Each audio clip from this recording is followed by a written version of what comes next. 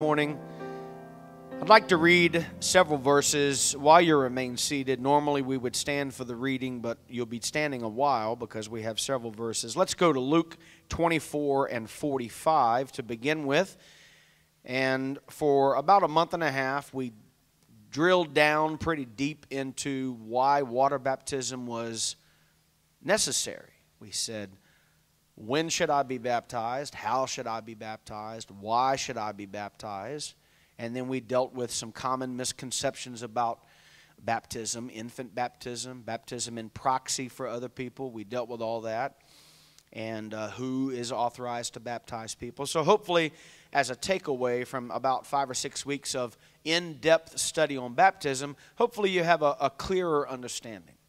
I know everybody's at different levels in their spiritual growth and the good thing about having an in depth study is everybody that was exposed to that should get to the same level with regard to that topic. Amen? And so we, we want to do the same thing, but with regard to the topic of the Holy Ghost, the necessity of the Holy Ghost. Luke 24 and 45. Jesus opened their understanding that they might understand the Scriptures. He said unto them, Thus it is written, Thus it behooved Christ to suffer, to rise from the third, the dead, the third day. We, we believe Jesus Christ went to the cross. We believe he rose the third day. And Jesus is speaking, rise from the dead the third day, and that repentance and remission of sins should be preached in his name among all nations, beginning at Jerusalem. Ye are witnesses of these things. And behold, I send the promise of my Father upon you. But tarry ye in the city of Jerusalem until ye be endued with power from on high. And he led them out as far as Bethany. He lifted up his hands, he blessed them. Came to pass while he blessed them, he was parted from them and carried up into heaven. This is the same incident that's recorded in Acts chapter 1, the first part of chapter 1. Jesus is speaking to his disciples. And he said, Ye shall receive power, Acts 1 and 8. After that, the Holy Ghost has come upon you. Shall be witnesses unto me, Jerusalem, Judea, Samaria, the uttermost part of the earth. And while they beheld these things, as he was speaking, he was taken up, and a cloud received him out of their sight. This is what we call the transfiguration of Jesus Christ. Luke is recording it in the last chapter of Luke, but Luke is also the author of the book of Acts. So, Acts chapter 1, the first few verses, were written by the same guy who wrote Luke chapter 24. And he tells the same story.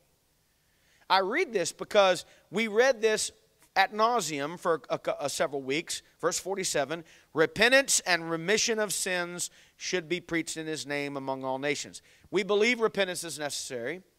We believe remission of sins through baptism is necessary. But if you read on, two verses later, Jesus wasn't done talking to them about what they need to do. He said, Once you repent and once your sins are forgiven, then, verse 49, the promise of the Father is going to come upon you. That's the Holy Ghost. Everybody say the Holy Ghost. Now let's go to Acts chapter 2, verses 1 through 7. This is the day of Pentecost, which was a Jewish feast day. Penta P E N T E, P E N T A means five or fifty. A pentagon, the pentagon has five sides to it, largest pentagonal structure in the world. A pentagram has five points on it. Amen. And so the Pentateuch is the first five books of the Old Testament Genesis, Exodus, Leviticus, Numbers, Deuteronomy. Pentecost means 50 days after the feast of the Passover. Last Sunday was Pentecost Sunday, celebrating 50 days since Easter. Uh, what we could consider Easter, the Jews would consider the Passover. So we're in Acts 2 1 through 7. This is the day of Pentecost. It's a Jewish feast day. And Luke begins to say this is what happened on this special day. When the day of Pentecost was fully come, they were all with one accord in one place. Suddenly there came a sound from heaven as of a rushing mighty wind it filled all the house where they were sitting. There appeared unto them cloven tongues like as of fire, and it sat upon each of them. They were all filled with the Holy Ghost. They began to speak with other tongues as the Spirit gave them utterance. Everybody say the Spirit. So this is a heavenly thing, this is a godly thing, because Luke says it was the Spirit that caused them to do this. There were dwelling at Jerusalem Jews, devout men out of every nation under heaven. When this was noised abroad, the multitude came together. They were confounded. Why? Luke says, well, it's because every man heard them speak in his own language. They were all amazed and marveled, saying one to another, Behold, are not all these which speak Galileans? So you have to understand what was happening. Acts chapter 2 is a fascinating story. It goes on to list 18 different nationalities of foreigners that were in Jerusalem, the holy city, visiting during this special feast day. So they came from all over the world for the day of Pentecost to celebrate this special high holy day, as we would call it. And all of a sudden, here these local Galilean people are speaking in languages that the foreigners understand.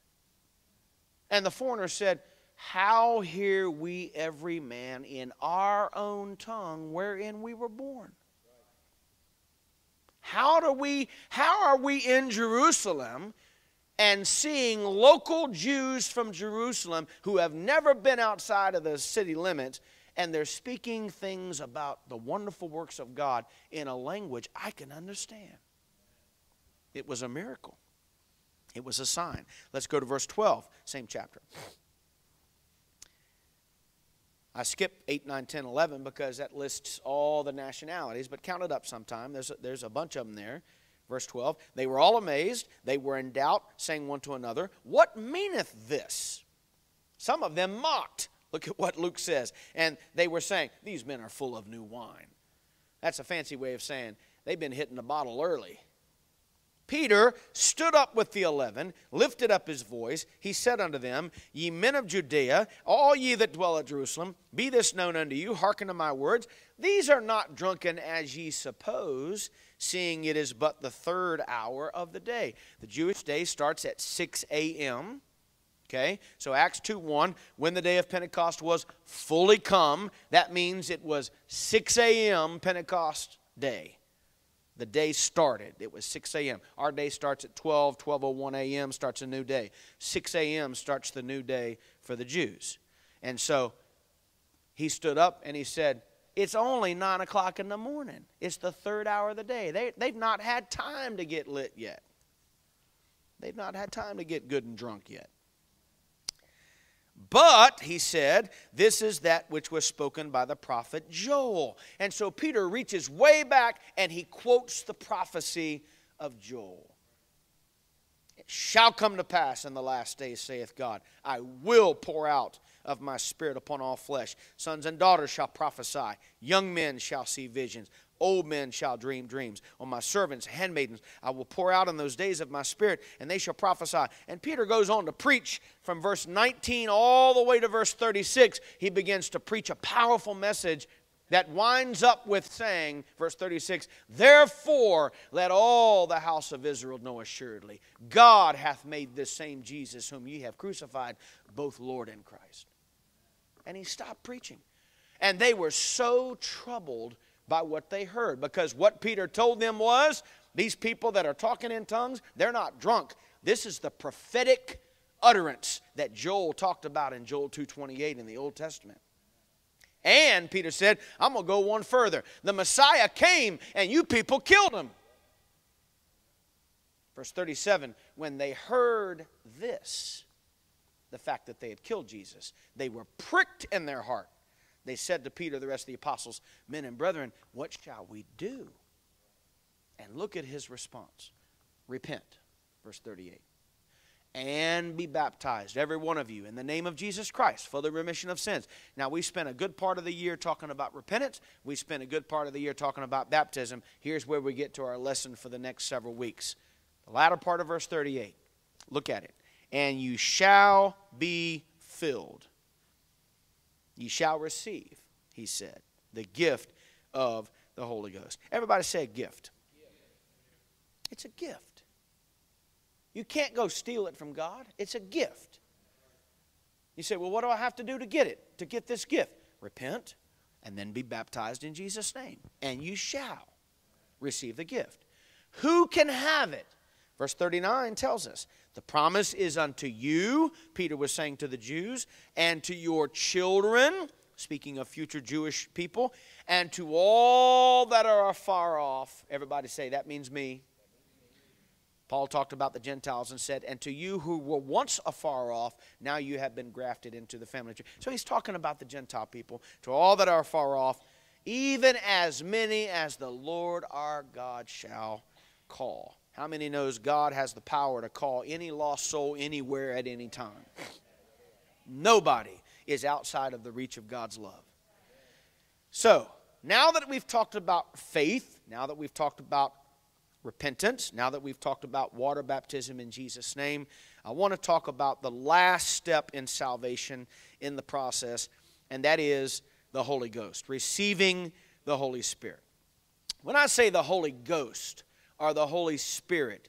Those terms are interchangeable. So when we use the term Holy Spirit or Holy Ghost, we're talking about the same thing. Please understand if you're watching online this morning, are present in our sanctuary today, and we have a good group of adults here today. If you if, if you hear that term, it there are not two different things that we're discussing. There are not times when the Holy Spirit touches you and then times when the Holy Ghost touches you. They're the same thing. Okay? So understand they're interchangeable. In fact, and I'm going to give you a book, chapter, and verse here. We're going to move quickly, so I hope you're able to take good notes and follow along. If not, the beauty of technology is you can go back and listen to it as many times as you want. It's on Facebook, it's on YouTube, and uh, it's on our church website. You have three ways to get to the lessons and the messages.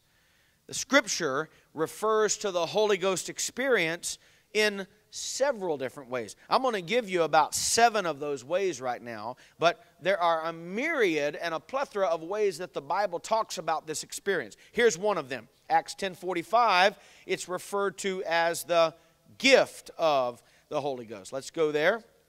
Acts chapter 10, verse number 45. This, of course, is the story of Cornelius and his family receiving the Holy Ghost while Peter was preaching. Verse 45 says, And they of the circumcision, talking about the Jews, which believed, were astonished, as many as came with Peter. So understand, Peter's preaching. He's got a, a, a, group of Jewish men that he brought with him to be witnesses because Jews were not supposed to go into the homes of Gentiles. So Peter is told by God, go to Cornelius' house. And Peter's like, God, I love you and I trust you, but I don't trust them church people. They're going to crucify me for going in a Gentile's house. So I'm going to get a bunch of them to go with me. And if I get in trouble, they're all getting in trouble. And that's what he did. The Jews were with him. And boy, you know they were nervous. They're standing over there thinking there's nothing good going to come out of us coming in this Gentile's house, especially a Roman, especially a centurion. He's a soldier, he's the enemy. And while Peter's preaching, Cornelius and all of his family start talking in tongues. They got the Holy Ghost. Look in verse 45. They were astonished, as many as came with Peter, because that on the Gentiles also was poured out the gift of the Holy Ghost. Look at the way it is worded there. The gift of the Holy Ghost. That's the same way Peter said it in Acts 2:38. Repent, be baptized, every one of you, in the name of Jesus Christ. You shall receive the gift of the Holy Ghost. So Peter's preaching in Acts 2.38 calls it a gift. Acts chapter 10, verse 45, the Gentiles all get the Holy Ghost. And the Jews said, We see these Gentiles getting the same gift that we got eight chapters ago.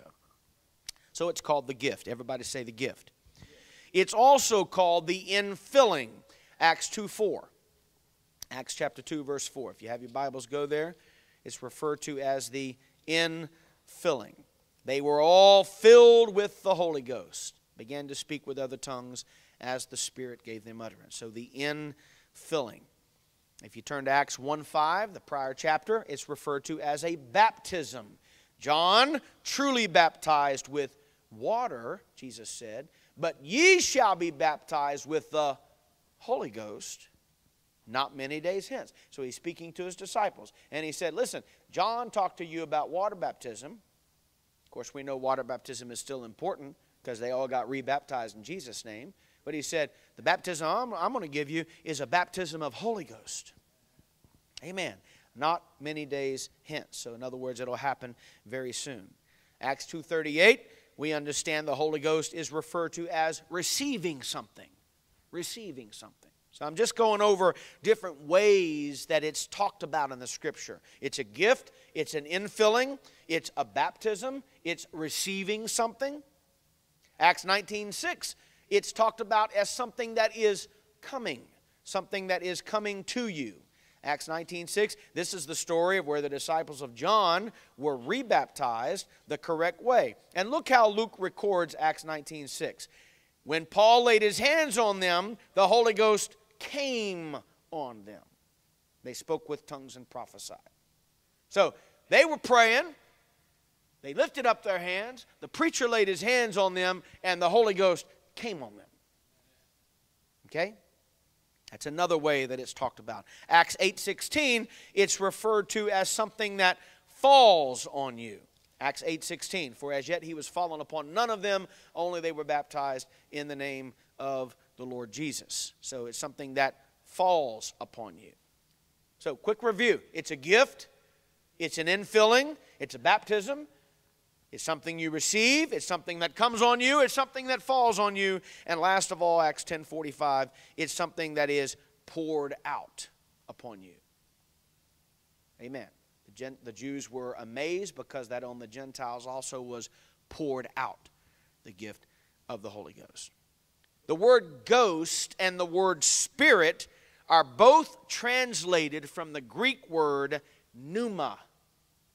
P N E U M A. Pneuma.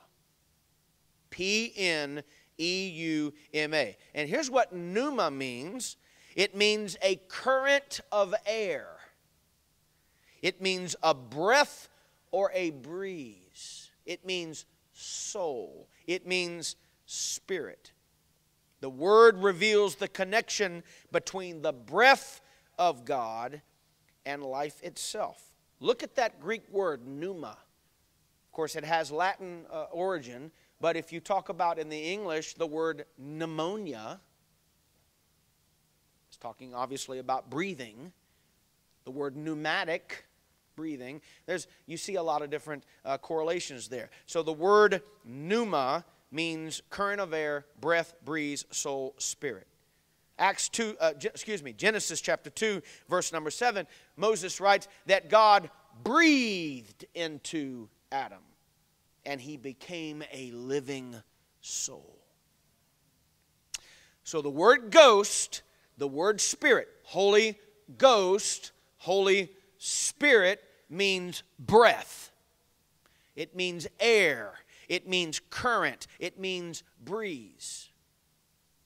Old Testament, Hebrew, God breathed into Adam. He became a living soul. That same breath that caused Adam to stand up and sit up and become alive is the same breath he puts in you and I when he fills us with his spirit.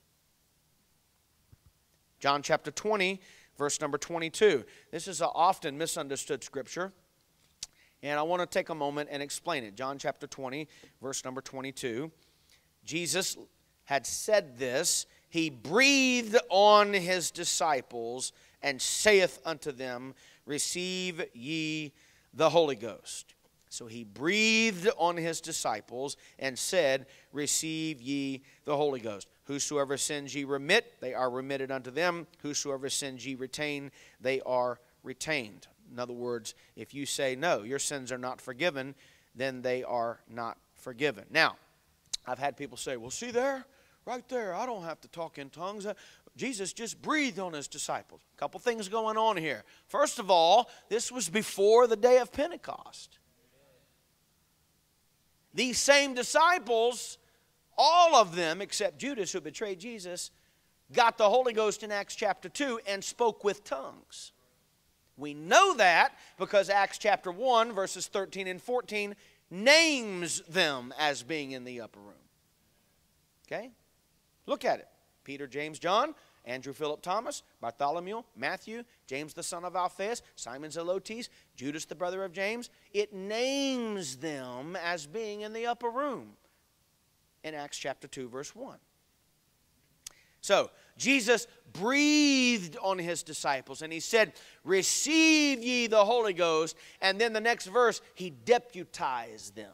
Whosoever sins ye remit shall be remitted. Whosoever sins ye retain shall be retained. What was going on? Jesus was authorizing his disciples to go out and operate in the Spirit under the dispensation of that time. Remember, there are three dispensations there's the Old Testament dispensation that ended the moment Jesus was born. There's the dispensation of 33 and a half years that lasted the, uh, lasted the life of Jesus. That ended the moment Jesus died. Remember the thief on the cross? Jesus said, Today you'll be with me in paradise. He's the last one that got in by the skin of his teeth before that door shut. Then there's the dispensation we're in today, which is the church age. It started in Acts chapter 2. So, what dispensation did John 20 22 occur in? It occurred in the dispensation of the 33 and a half years ministry of the life of Jesus. Jesus is God. So if Jesus, God, looks at his disciples and says, I'm going to give you the only version of the Holy Ghost that's available right now, you're going to get it. I'm going to breathe on you. It's that same breath that caused Adam to sit up in Genesis chapter 2. And it's the same breath the Holy Spirit, the Holy Ghost, that you and I get in the church dispensation. But it was in that short little dispensation, and they were the only ones outside of John the Baptist who was born with the Holy Ghost. They were the only ones to experience the Holy Ghost before the church age. The Bible's so beautiful, isn't it?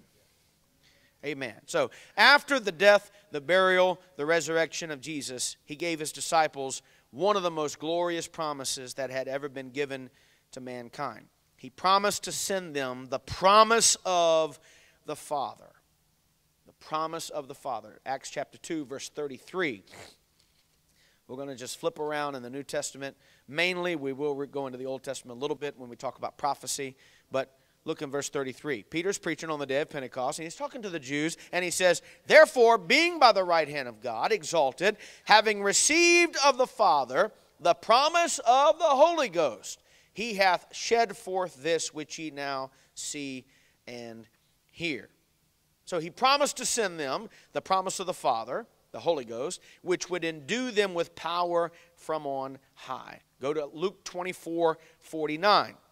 We read it earlier, Luke chapter 24, verse 49. And behold, I send the promise of my Father upon you, but tarry ye in the city of Jerusalem until ye be endued with power from on high.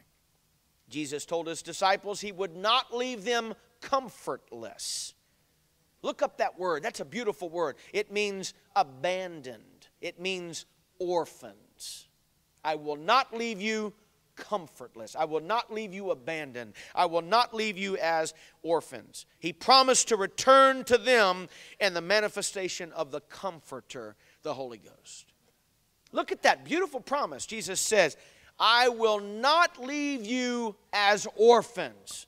John 14, 26, he says, But the Comforter, which is the Holy Ghost, whom the Father will send in my name. Here's what Jesus was saying Listen, guys, you had the voice of God speaking in that first dispensation in the Old Testament through the Torah. You have me with you physically in this 33 and a half year dispensation. You can reach out and put your hands on me because I'm walking with you. But in the church dispensation, it won't be the booming voice of God to, to, Moses on Mount Sinai, and it won't be me with you in the flesh. It will be the pneuma, it will be the breath living in you. I'll always be with you, never leave you nor forsake you. Praise God. He promised to return to them in the manifestation of the Comforter. Let's go to John 14, 16 through 18. Jesus said, I pray the Father, he shall give you another comforter. Why was Jesus talking about another comforter? Exactly for the reasons I just said. Because he was going to be taken from them, crucified, put in the grave, resurrected on high, and he was saying, Look, I know I'm not physically going to be here for you to reach out and touch, but I'm going to give you another comforter. We know that's the Holy Ghost. Matter of fact, look what he said in John 14, 16, that he may abide with you forever. Not just 33 and a half years until they crucify him. This Holy Ghost that I'm going to pour out upon you, you get to keep it as long as you want to keep it. And if you keep it till the rapture, it'll take you out of here. Even the Spirit of truth, whom the world cannot receive, because it seeth him not, neither knoweth him, but ye know him, for he dwelleth with you. Look at this. This is a beautiful one God verse, folks. I'm not even teaching on the oneness of God today, but you can't get away from it. Look at this beautiful scripture. Jesus says, The Comforter dwelleth with you. Here's a question Who was Jesus talking about when he told his disciples, He's dwelling with you right now? He's talking about himself. But look at this. And he shall be in you. Now, if you believe in the Trinity, your eyes are crossing right now because you got problems. Jesus is saying, it's not hard to figure out. Today I'm dwelling with you, but in the church dispensation, I'm going to dwell in you. Because Jesus is the Holy Ghost. I shall not leave you comfortless. I will come to you. And then in John 14, 26, he ties up any confusion. Same chapter, eight verses later, he says, But the Comforter, capital C, which is the Holy Ghost, whom the Father will send in my name.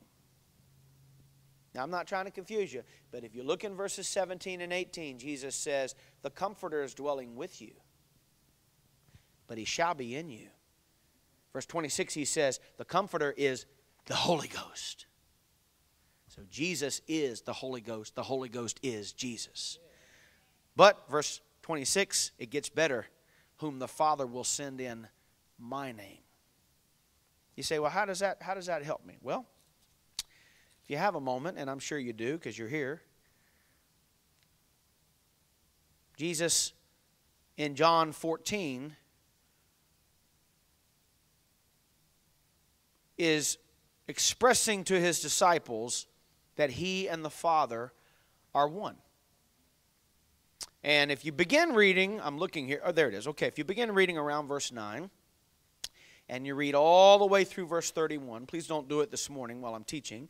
But if you have a moment sometime and you're reading these, uh, these chapters, if you're looking at the theme here of the oneness of God, you will understand the takeaway is Jesus is very clearly trying to tell, us, tell his disciples listen, I and the Father are one. When you've seen me, you've seen the Father. Okay? So, again, we're not trying to talk about the oneness of God today because that's a beautiful lesson all by itself. But really, the oneness of God is not just a topic that you teach on, the oneness of God is a theme that runs through every topic.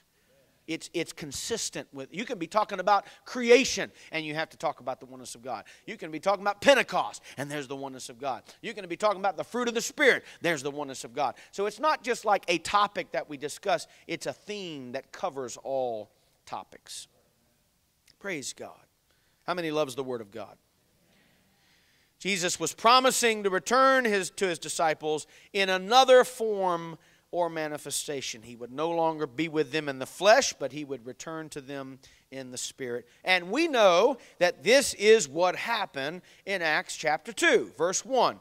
When the day of Pentecost was fully come, they were all with one accord in one place. Suddenly there came a sound from heaven as of a rushing mighty wind. It filled all the house where they were sitting. There appeared unto them cloven tongues like as of fire. It sat upon each of them. They were all filled with the Holy Ghost, began to speak with other tongues as the Spirit gave them utterance. Now, this is the only time in the Bible in Acts, the book of Acts, where people got the Holy Ghost and there was a sign of fire. Every time they got the Holy Ghost, they spoke with tongues. But only one time were there cloven tongues of fire sitting above their head. Why is this? Because Isaiah the prophet talked about a time when the fire of the Spirit, he said, it's like a fire shut up in my bones. Okay? And the Holy Spirit is referred to as fire throughout the Old Testament. And so God knew, this is my interpretation of this, God knew the Jewish people would connect the visual image of fire with the New Testament Holy Spirit. They would connect those dots and say, ah, this must be what the prophets were talking about. They got the Holy Ghost. They knew it was of God. But then in Acts chapter 8, Acts chapter 10, Acts chapter 19, the other three times we have record of people speaking with tongues, there were no cloven tongues of fire because they had already made that connection. Beautiful, beautiful scripture there. Acts chapter 2, verse number 3. Verse 4 They were all filled with the Holy Ghost, began to speak with other tongues as the Spirit gave them utterance. So there is no doubt in this experience that the outpouring of the Holy Ghost was the promise of the Father. And Peter stood up, verse 33, and he confirmed this when he said, This is the promise of the Holy Ghost. Acts 2.33. Which ye now see, the cloven tongues of fire, and ye hear the speaking with tongues. So that's why I believe there were cloven tongues of fire, was so that the people would see and they would hear and believe. Notice this promise was something the bystanders could see. Everybody say see. And hear. I'm saying this slowly. It's not because I'm trying to talk down to you or talk, talk to you like a child, but so many people in the Bible Belt teach the Holy Ghost is just something private between you and God. God's Spirit just comes in you and you just know you're saved. No, it's something people around you can see and they can hear. Just like Acts 2. Okay? You will not find in the Bible anywhere where somebody was, quote, saved because they got a warm, fuzzy feeling and felt Jesus had come into their heart. That's not in the Bible. That's a man made statement. Accept Jesus as your personal Savior. Show me that in the book. Who are you and I to accept Jesus? He accepts us. We don't pick him, he picks us. We don't choose him, he chooses us. We're the creation, he's the creator. Can you imagine your child walking up to you on a Monday morning and say, Congratulations, I choose you to be my parent? You'd be like, I birthed you, you little rug rat. You didn't choose me. We made you, right? My dad was uh, in Navy, and I was born in the Navy hospital there in Mayport Base, uh, Navy Base in Jacksonville, Florida, Duval County. And it only cost my dad $5 to have me. $5 to have me, $5 to have my brother. And he reminded me of that frequently growing up. Only cost me five dollars to have you, boy. You was easy to make. I'll make another one just like you. We'll give you back. Right? You don't choose God. God chooses you. That is such an arrogant statement. Come down here and accept Christ as your Savior. Accept Christ? He accepts me. Who am I to accept the mighty God? The air in my lungs was given to me by Him. I don't accept Him, I'm grateful for Him. Somebody say amen. Amen. It's amazing when you start parsing, part and parceling out some of these statements that we hear all the time in churches and in the church world, and you realize many of them are not even biblical. They're man made, and they're meant, they're designed to appease to the pride and the arrogance of people. So, notice that the promise was something bystanders could see and hear. Those that were receiving the Holy Ghost were acting very peculiar. Matter of fact, it was so peculiar that the onlookers thought they were drunk. They were speaking peculiar. The listeners heard them speaking in strange languages. So, once again, the breath of God, the pneuma of God, had blown into mankind. However, this time, instead of bringing physical life as it did in Genesis 2 with Adam sitting up and becoming a living soul. Today it brought spiritual life. In this lesson, in the next several weeks, we're going to talk about what the Bible says about being born of the Spirit. We're going to talk about this issue of speaking in tongues. If people ask you, do y'all, do y'all's church speak in tongues? Don't be ashamed of that. That's something you should not back down and if you totally understand and hopefully after some extensive lessons you'll you'll feel better about this topic but the world has really put a negative light on speaking in tongues and really it's a spiritual biblical very sacred thing that people should not mock they should not take lightly and they surely shouldn't make fun of it I'd be very careful about making fun of something sacred. We have precedent in the scripture that it's dangerous to make fun of something sacred. Remember the little kids that walked out of the village and started mocking the bald head man of God, and he turned around and he cursed them, and a she bear came out of the woods and ate 42 children. You better be careful about mocking something sacred. Somebody say amen. Now, we only have a few minutes before we need to take a break. It's 10:39, so give me 6 more minutes. In the Old Testament, we're going to go back to the Old Testament and talk about how the Holy Ghost was prophesied to happen in the New Testament, okay? So we don't want to just talk about the Holy Ghost in a vacuum and only deal with Acts 2. Let's go way back in the Old Testament and say, what does the Old Testament say about the Holy Ghost? Various kings, prophets, judges, patriarchs were moved upon by the Holy Spirit or the Holy Ghost, but the Holy Ghost did not dwell in them. It just moved on them. Okay? But the prophets foretold of a day when the Holy Spirit would dwell within people of all tribes, languages, and nations. Let's go to Isaiah chapter 28. Isaiah chapter 28, verses 11 and 12. The prophet Isaiah wrote this 730 years before the birth of Christ.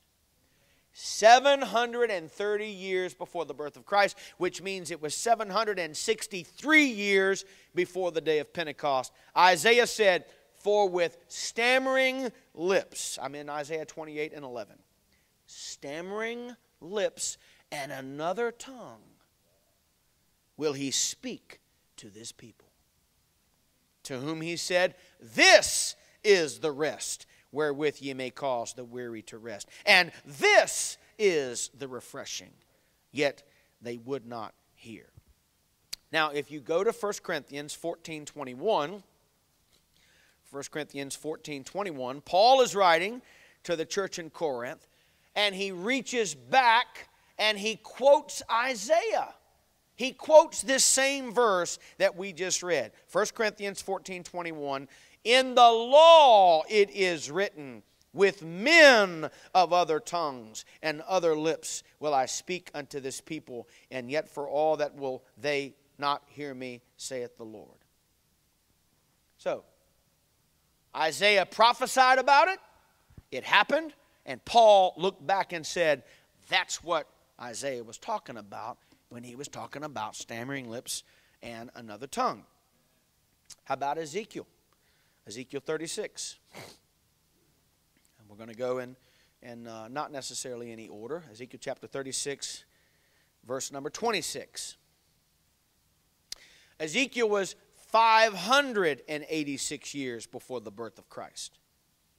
Look at what God says through the prophet Ezekiel. A new heart will I also give unto thee. A new spirit will I put within thee. Not upon thee, but within thee. I will take away that stony heart out of your flesh. I'll give you a heart of flesh. I'll put my spirit within you. He says it twice, folks. I'll put my spirit within you and cause you to walk in my statutes, and ye shall keep my judgments and do them. What was Ezekiel talking about? God was saying to the Jewish people, listen, you're not able to keep the law because the flesh can't keep the law. But there's going to come a day I'm going to take that stony heart of flesh out, put a new heart of flesh in, put my spirit in you, and you will be able, through the power of the Holy Ghost, you'll be able to live a clean life.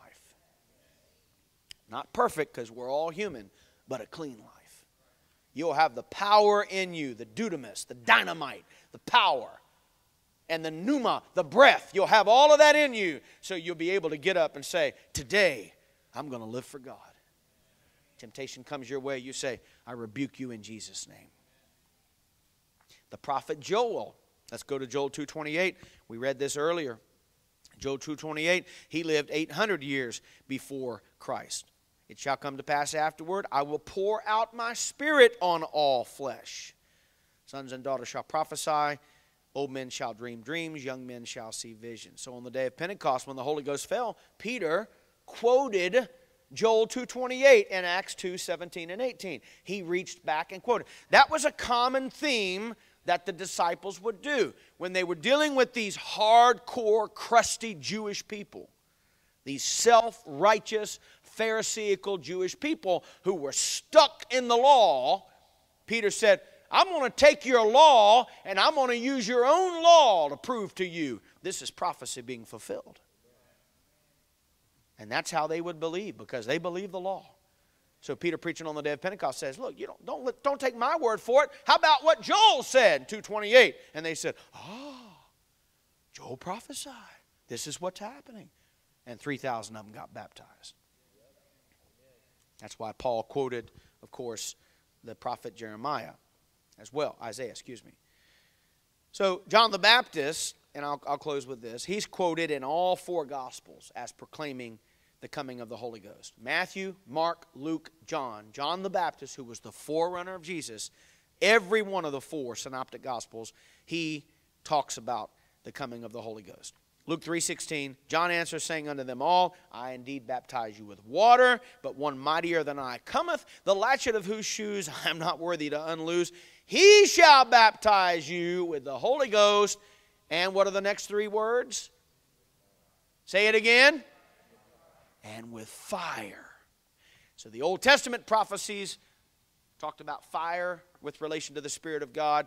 John the Baptist said, He shall baptize you with the Holy Ghost and with fire. That's why on the day of Pentecost, that's the only time cloven tongues like as a fire sat upon each of them. Because the Jews were able to see that and hear that and say, Aha, that's Old Testament prophecy. And that's what John the Baptist is talking about.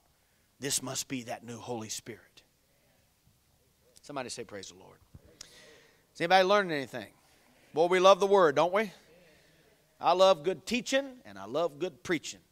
I don't think I love anyone more than the other. I just love it all. Amen. And when you fall in love with the Word, it doesn't matter how the Word gets to you, you just enjoy it. Let's stand together. God bless you. We're going to take a break, and uh, our children will be coming in in a moment. We'll use the restroom, get some water. Let's pray together. Father, we thank you for your word on this Sunday morning. Thank you for allowing us to get out of bed and come to church and just absorb the Word of God. We know that listening to the Word and, and being together as the Word is taught, it is not a wasted exercise. It's certainly not wasted time. It's time for us to grow. It's time for the Spirit and the Word to agree and connect in our lives. And we just want to be more mature every time we hear a lesson on the Word of God taught, more mature in our spirit walk God bless our service in the next little bit. Let us have a wonderful time in the house of God today. In Jesus' name we pray. And the church said, Praise the Lord. Amen. You're dismissed. God bless you. Greet one another. Fellowship.